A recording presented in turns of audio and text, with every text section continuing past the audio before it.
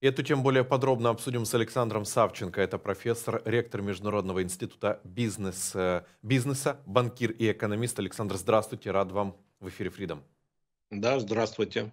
Э, вот читаю цифры, понятное дело, здесь очень много цифр, очень много э, разной информации касательно трат Российской Федерации на войну.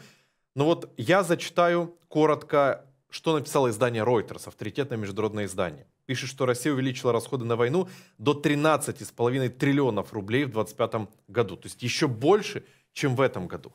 Тут идет свою речь очередь о расходах на национальную оборону они возрастут на 23%. А, также, по сравнению, кстати, это, это 23% э, это 13,5 триллионов рублей для наших зрителей, поясню. По сравнению с этим годом было потрачено 10,8 триллионов.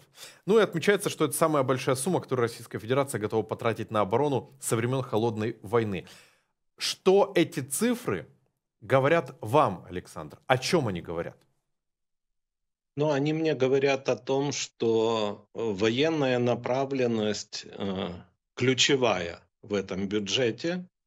Э, то есть э, э это философия Путина, э, Кремля, это стремление смерти, к насилию, к террору, а бюджет только оформляет вот эту целевую функцию существования как а, российской власти, так и целого государства.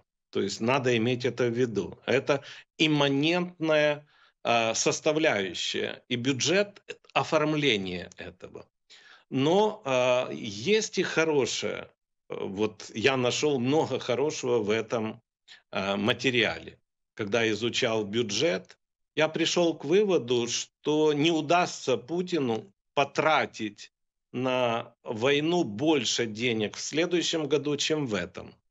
Он, кстати, планирует э, приблизительно нанести удар э, по бюджету, э, будет больший дефицит в последние месяцы. Так, будут выделены колоссальные средства, которые он потом перепишет как рост ВВП, а на самом деле это будут расходы бюджета, у них есть такие манипулятивные э, моменты, и припишет себе 2-3% роста ВВП. На самом деле будет минус уже в этом году, он его сделает плюсом небольшим, полтора процента. Так, э, ну этот минус, ну он может прятать за статистикой, так, но в реальности он его не может спрятать.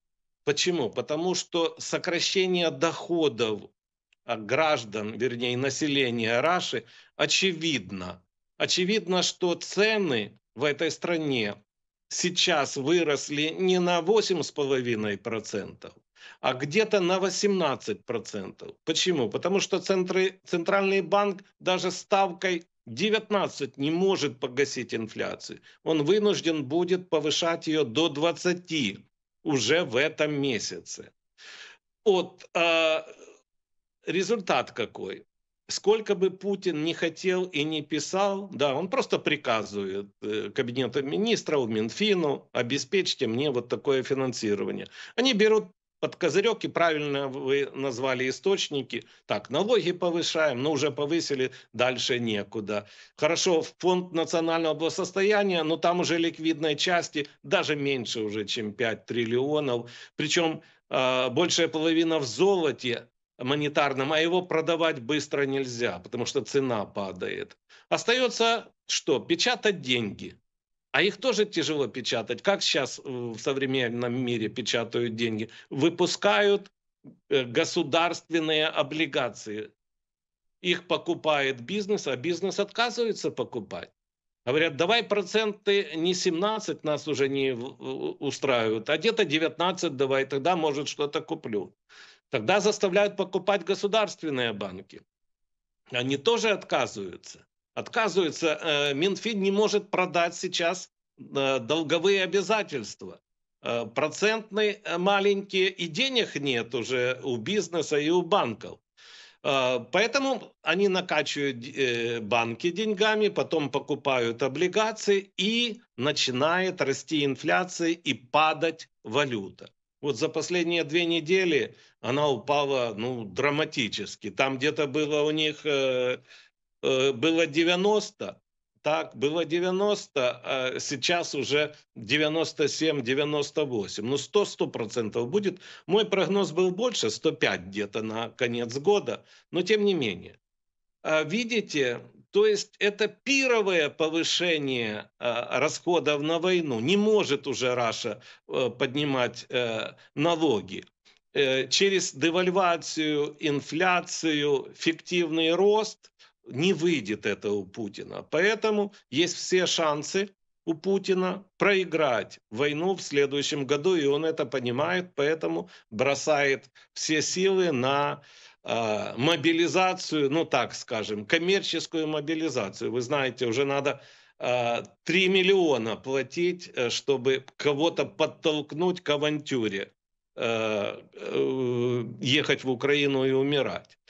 Я, я посчитал, чтобы, вот как он говорит, э, если э, они э, мобилизуют через коммерцию где-то 35-40 тысяч на месяц, да, это приблизительно столько, сколько Украина утилизирует э, э, за месяц то не хватит бюджета, если по 3 миллиона платить. Ну, я посчитал, что бюджета не хватит на подъемные и на гробовые. Еще ж э, гробовые увеличиваются. Украинская армия утилизирует уже иногда пол, полторы тысячи в день. Ну, за тысячу это уже стабильно последние 2-3 месяца. А там гробовые надо по 5 миллионов выплачивать, подъемные по 3 миллиона, еще там какие-то. Нет денег, надо печатать деньги. Печатаешь деньги, э, падает курс, растет инфляция. Вот куда завел Путин э, экономику, социальную сферу. Ну, действительно вот такая тяга к смерти, к прошлому, э, к, э, ведет и экономику к смерти. К, к счастью для него, народ очень терпеливый очень терпеливый, будут еще терпеть, и следующий год будут терпеть. Поэтому, ну, надо новые санкции, новые удары э, сбройных сил, вооруженных сил Украины, э, тогда, может быть, поумнеют, поумнее население Раши и поймет, в какую авантюру он их завел. Еще важный момент. Ведь не стоит забывать о том, что абсолютно все деньги, которые Путин тратит на войну против Украины, это же деньги не Путина лично, это деньги российских налогоплательщиков. И вот, в свою очередь, правительство Российской Федерации продолжает сокращать финансовую поддержку регионов на фоне увеличения расходов на войну против Украины. Согласно проекту основанного финансового плана, э, в 2024 году объем перечислений из федерального в региональные бюджеты составил чуть более 3 триллионов рублей, что на 10% меньше, чем было запланировано ранее. Это произошло в основном за счет уменьшения объема дотаций для регионов – Сокращения ожидаются и в следующем году. Ранее Путин заявил, что в приоритете российского бюджета должны быть расходы на оборону. Согласно проекту бюджета на 2025 год, правительство Российской Федерации собирается потратить по статье «Национальная оборона» рекордные 13,2 триллиона рублей, что соответствует более 140 миллиардам долларов. И таким образом доля расходов на армию в российской казне составит 32,5%, что является беспрецедентным уровнем со времен Советского Союза. Э, на себе, на чем именно могут почувствовать россияне такие колоссальные траты, растраты денег на войну против Украины? На себе, имею в виду, в жизни, ведь мы видим, что дотационные начисления уменьшают. Ну вот смотрите, вы э, правильно говорите, Э, когда в долларовом измерении меряете расходы по старому курсу. Но я вас уверяю, новый курс доллара, среднегодовой в следующем году, будет где-то 120-130. И в долларовом измерении расходы на войну упадут. Вот этого Путин понять не может. И покупательная способность денег тоже упадет. Вот до конца этого года и в следующем году падение будет, внутренняя покупательная способность процентов на 25 упадет.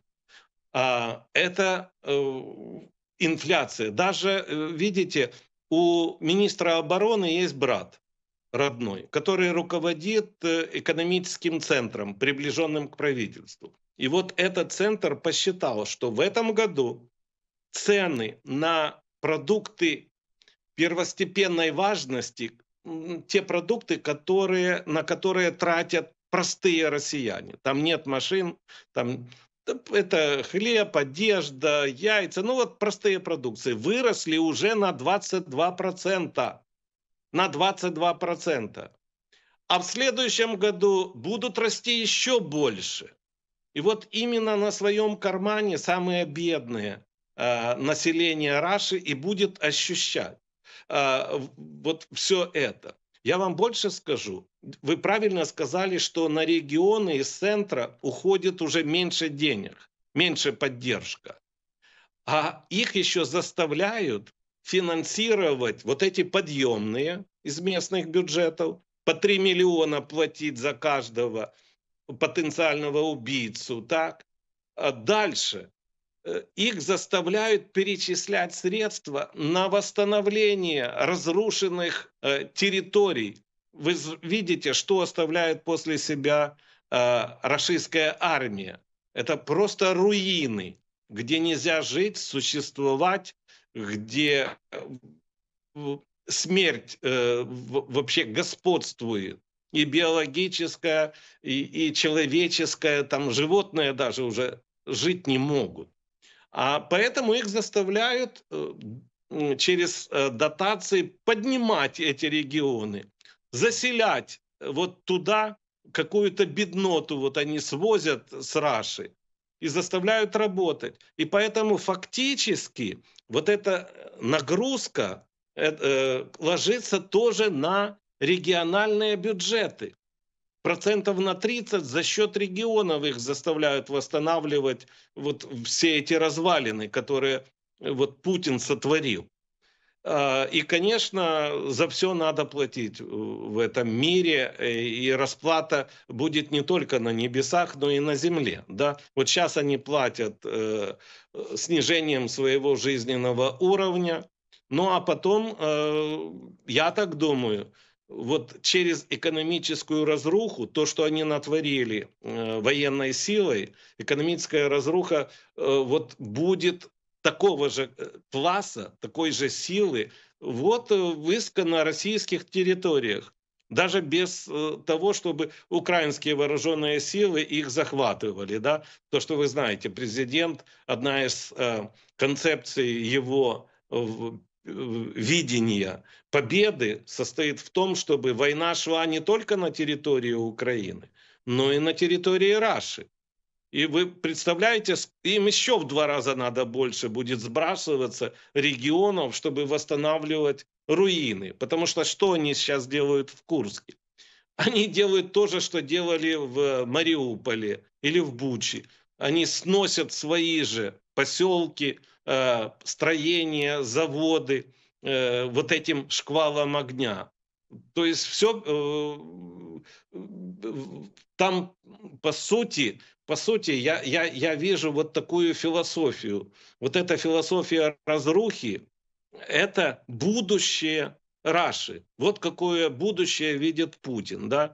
И я думаю, пришло время задумываться – Э, э, населению Раши, что их ждет впереди. Вот то, что они сейчас видят на этой картинке, они будут видеть в своих городах, в своих селах, так поселках городского типа. Ну вот так я бы сказал. Да, Александр, огромное вам спасибо, что вы нашли время присоединиться к нашему эфиру, за ваши комментарии. Напомню, Александр Савченко, профессор, ректор Международного института бизнеса, банкир и экономист с нами был на прямой связи. Если в вашей стране заблокирован доступ к видеосервисам, в том числе YouTube, прямой эфир телеканала Freedom круглосуточно доступен на нашем сайте uatv.ua. Чтобы получить доступ к нему через VPN, введите в поисковой строке вашего браузера «Скачать VPN» и установите приложение согласно инструкции. Таким образом, вы получите доступ к открытому просмотру эфира нашего телеканала. Также на сайте Freedom самая оперативная и объективная информация в открытом доступе.